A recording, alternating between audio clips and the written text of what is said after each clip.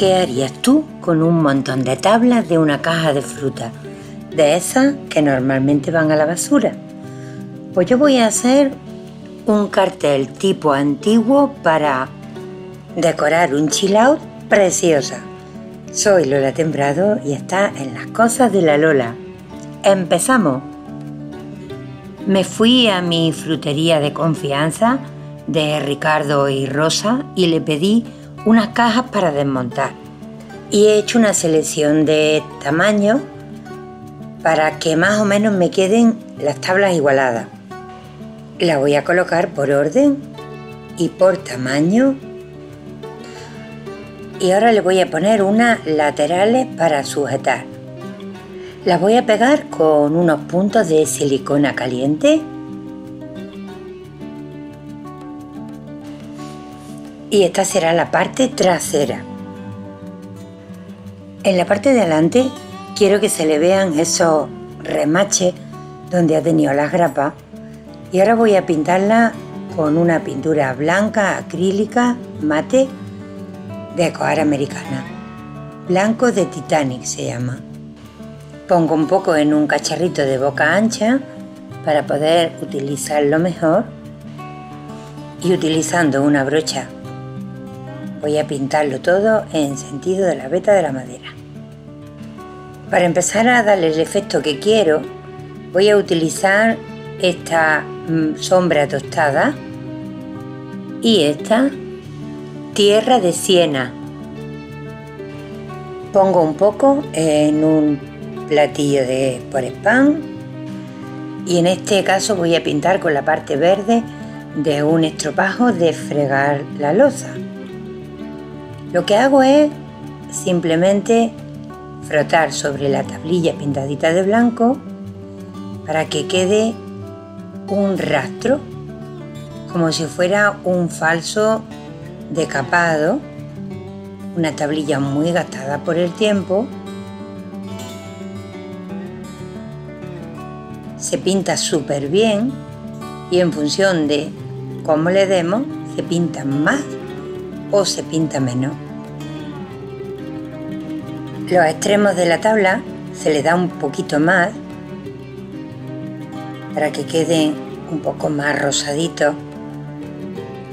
Y también la junta, las uniones de unas tablillas con otras, para que se vea un poco más la separación en ambas tablas.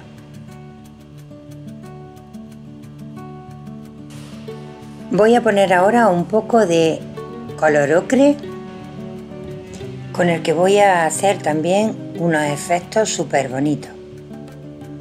He añadido un poquito también de ese color que os he mostrado anteriormente y unto primero en el más rojizo y empiezo a darle por encima sin tapar el blanco y sin tapar el marrón porque quiero que se vean colores superpuestos unos encima de otros, pero sin comerse los unos a los otros.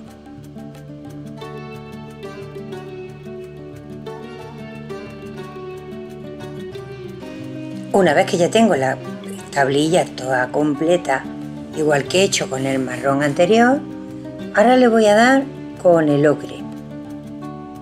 Y lo hago de la misma manera, siempre utilizando una esponja limpia en cada uno de los colores. Y le vuelvo a hacer igual. Le voy a dar unos toquecitos encima de los anteriores para que se vayan mezclando o entremezclando los tonos. Como no tengo negro acrílico normal, le voy a poner este multisuperficie, multisurface de satín. Y con ello lo que hago es envejecer un poquito la tabla, ensuciarla, emporcarla, dejarle unos rastros negros para que parezca que los años han pasado por la tabla bastante intensamente. Por una zona hacemos como que tiene restos de humedad se le dan más que por otros y mirad qué efecto más bonito que tiene así. Voy a empezar a decorar poniendo una plantilla que es autoadhesiva encima de una zona en la esquina de la tabla y utilizando el color negro y un pincel voy a ir dando pequeños golpecitos para ir tallando o dibujando todos los huecos de la plantilla. No quiero que se quede pintado del todo. Lo único que quiero es que se quede un poquito dibujado, pero que parezca así como gastadito por el tiempo. Le voy dando pequeños golpes hasta completar la totalidad de la plantilla. Una vez que ya está todo, levanto y se queda un dibujo bastante sutil, un poco desgastado, pero que le da un toque precioso. Lo mismo he hecho en la esquina opuesta de la parte de arriba y ahora le voy a hacer una especie de mandala, pero eh, con blanco.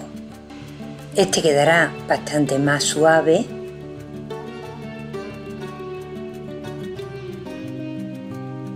Pero le da un tocazo precioso.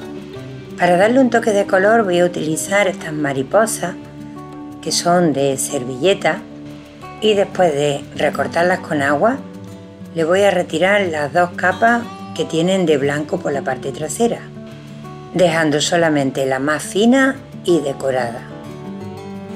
Para pegarlo voy a utilizar este pegamento para decoupage que voy a poner en un bote para hacer más fácil utilizarlo con el pincel. Aplico un poco sobre la parte donde quiero pegar mi servilleta y colocándola encima voy pasándole suavemente con el pegamento para que se quede totalmente adherida a la tabla. Con las esquinas de la propia servilleta voy a decorar esta esquina dejando una parte en el centro sin cubrir, para que parezca que el tiempo ha ido quitando parte de la decoración y queda solamente por una zona y por otra no. Una vez seco, voy a integrarle pintando un poquito los rebordes para que no se vea el corte de la servilleta. Bueno, una vez seco y le he pintado a mano alzada unas letras en las que pone chill out y el nombre de para quién es la placa, porque esta va a ser un regalo muy especial. Lo que hago es separar con la cuchilla de un cúter las servilletas de entre las tablillas para que se vea una separación entre ellas y parezca que está la tablita pintada y no con decoupage en servilleta. Ahora utilizando una pasta de relieve y una plantilla, la pasta de relieve es esta, Le voy a poner a juego con la mariposa un pequeño detalle con este naranjita que me encanta. Lo hago utilizando un palito, lo pongo por encima a modo de espátula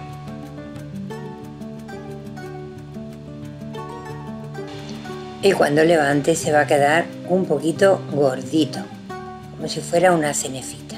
Es muy leve, pero queda un toque bonito. Utilizando la esponja con la misma pasta, voy a darle unos pequeños toques de color en las esquinas y también por algunas partes de dentro, por ejemplo aquí. Por cierto, se me olvidaba, también le he puesto unos clavitos negros y ya con esto va a quedar prácticamente terminada. Bueno, y una vez seca, así es como queda. Ya habéis visto que de una forma muy sencilla tenemos una tablilla para decorar una pared encima de un sofá. Queda como tipo antigua, Los colores me encantan, mezclados los azules, naranjas, marrones y ocre, que le dan, pues eso, un, color armonioso y precioso. Espero que el trabajo haya gustado. Si es así, hacérmelo saber en un comentario y decidme desde qué lugar me veis para mandaros muchos, muchos saludos. Y ya sabéis, os pido que compartáis el vídeo para que llegue a cuanta más gente mejor. Mando besitos, besitos, besitos y hasta el próximo vídeo.